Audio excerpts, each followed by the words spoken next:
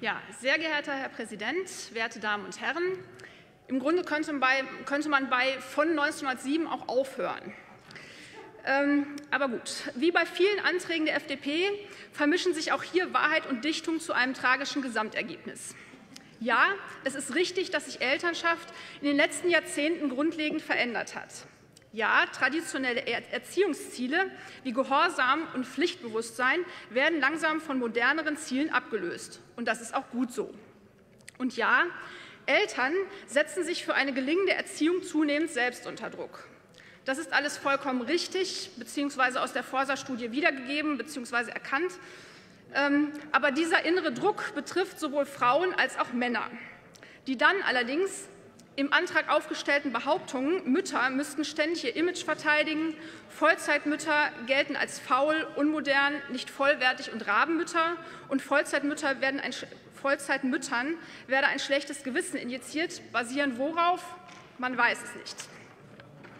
Auf der genannten Studie jedenfalls nicht.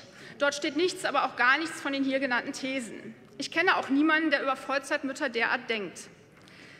Ich weiß nicht, ob das gesellschaftliches Leben im Umfeld der FDP ist. Das wäre bitter, würde aber einiges erklären. Richtig ist vielmehr, dass die beiden wichtigsten Gründe für den gefühlten Stress zum einen, Zitat, die eigenen Ansprüche und zum anderen gesellschaftliche Normen sind. Welche Normen genau, wird nicht näher aufgelistet. Das wäre aber durchaus einen weiteren Blick wert. Ebenso auf das, was sich Eltern wirklich wünschen.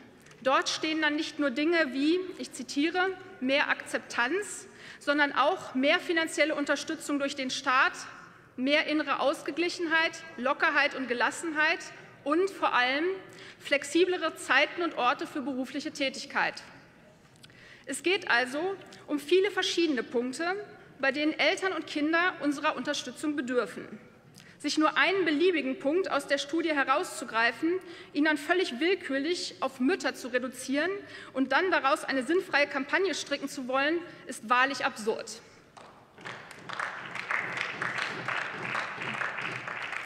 Dies zudem vor dem Hintergrund, dass es doch in NRW für diese Thematik aktuell die Enquete-Kommission für Familienpolitik gibt. Und ich kann mir ganz gut vorstellen, dass eine Diskussion dorthin gut passen würde.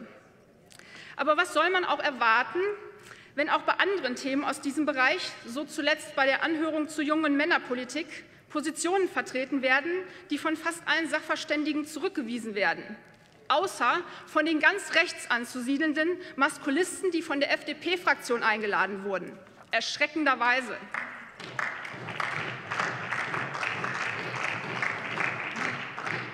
Ich schließe mich Frau Asch an. In der Gesamtheit ist das alles so unglaublich rückwärtsgewandt, dass man sich schon fragen muss, ob hier im Vorgriff auf die Wahlen 2017 prophylaktisch AfD-Positionen besetzt werden sollen.